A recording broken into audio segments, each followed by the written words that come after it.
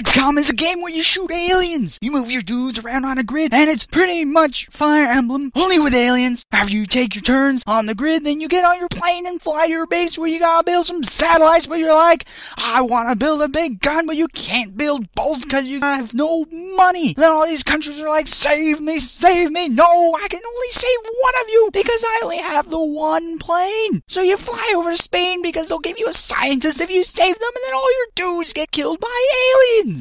XCOM, it's aliens.